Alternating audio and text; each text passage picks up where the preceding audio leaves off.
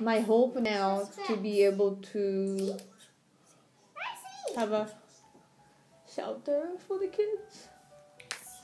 And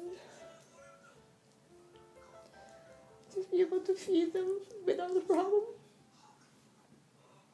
And let them go to school.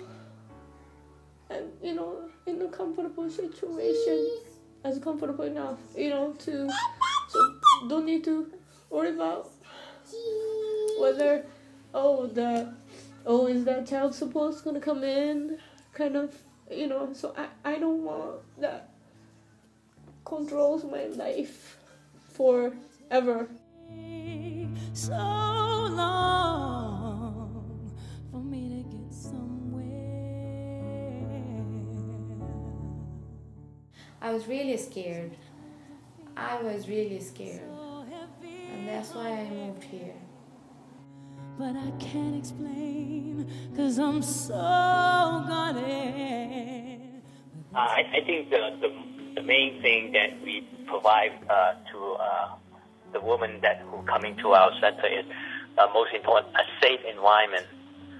Help them uh, get away from the abuser to uh, get themselves together and have them uh, revi- redirect and uh, think through where they're gonna go from here.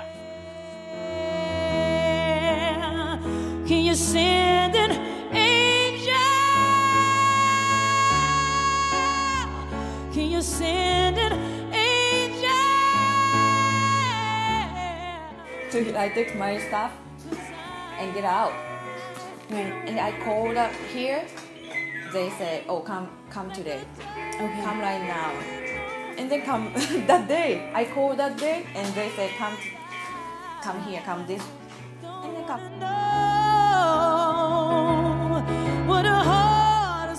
I know incident that I really took, uh, you know, have to take action was something right in front of them, assault to me. So I said no more.